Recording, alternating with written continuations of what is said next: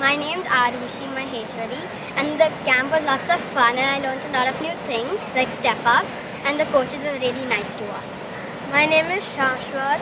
Uh, this camp is really good fun and I've brushed up all my skills. I've improved my shooting and uh, my dribbling. Thank you.